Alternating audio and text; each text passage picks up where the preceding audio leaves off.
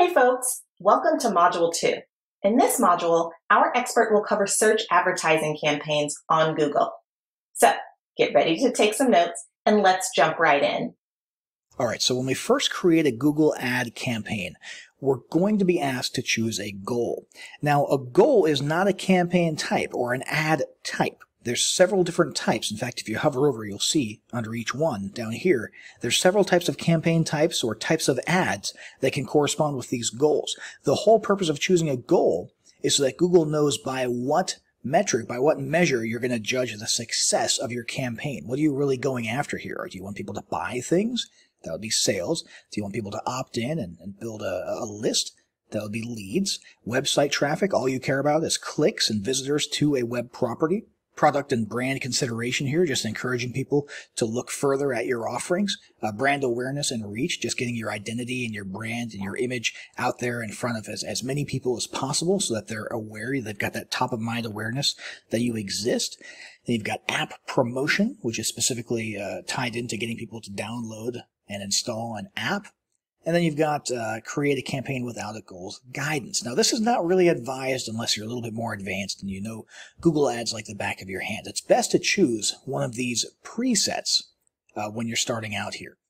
So we're going to say we're going after sales. Okay, we want people to buy. We'll stick with the example from the previous module. Let's say we're selling a diabetes related product. We want people to buy that product, click through and, and purchase.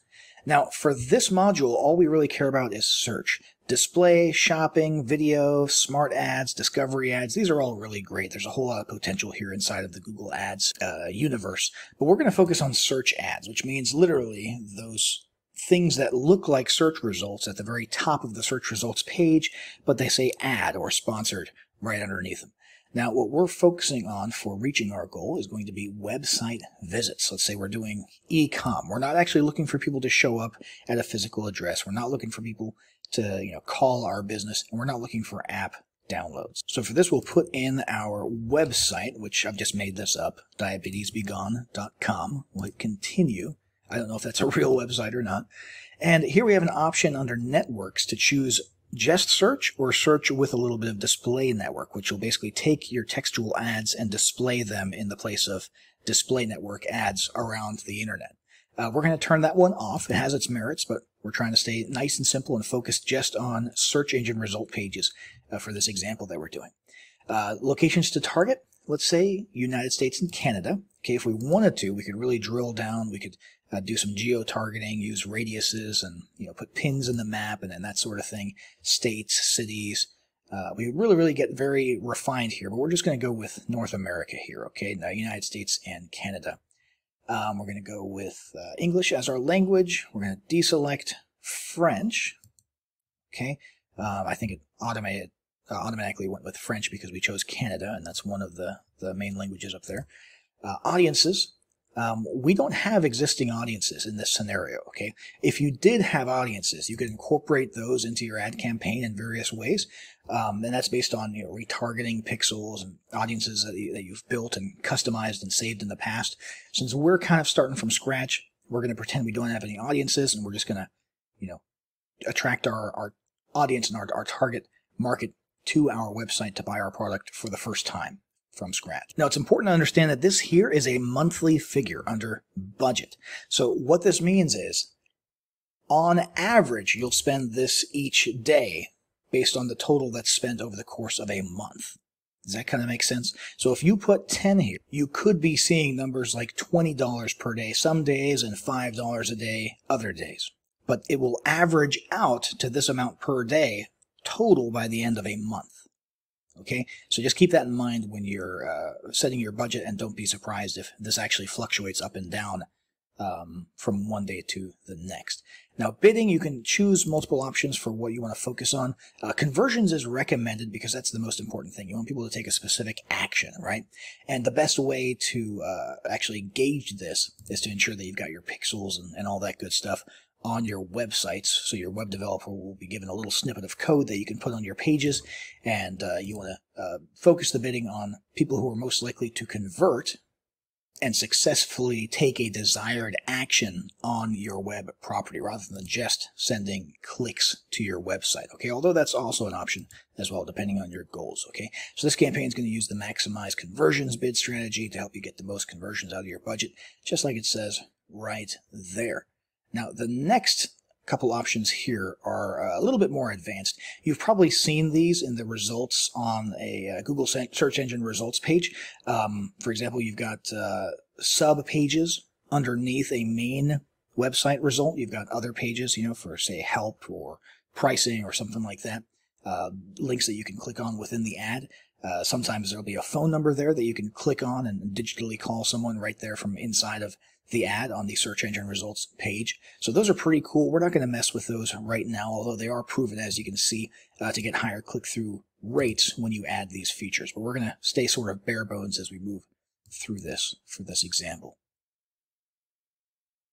Now, the next step here is going to be to set up your ad groups with keywords that you're targeting for these search advertising campaigns. Then we went with diabetesbegone.com, and it actually started uh, pulling keywords uh, based on that domain. Now, the reality is, we don't have to look it up, but as you can see, there is no diabetes related website at that domain. And so instead, it's just giving us domain hosting related stuff that it found when, when it crawled and went to that URL. There's probably one of those uh, parked sites there uh, with GoDaddy or some other registrar saying, hey, you can buy this domain if you want or something along those lines.